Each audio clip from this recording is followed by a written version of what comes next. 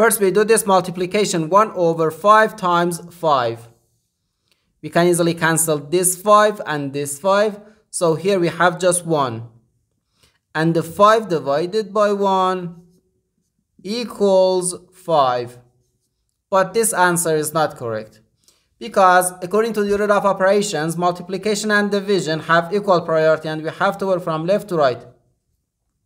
So here, first we have to do this division, then this multiplication. If we do this multiplication before this division, it is wrong.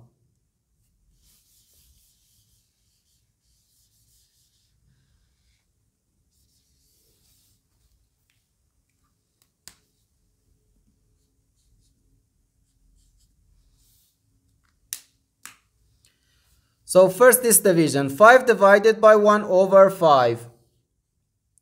According to the KCF rule, K stands for keep, C stands for change, and F stands for flip.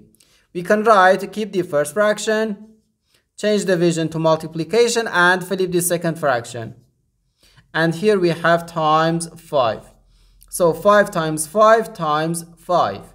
5 times 5 gives us 25. So 25 times 5.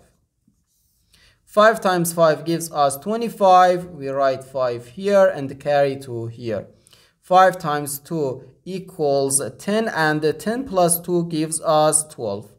So we have 125 and this is our final answer to this problem. The correct answer is 125.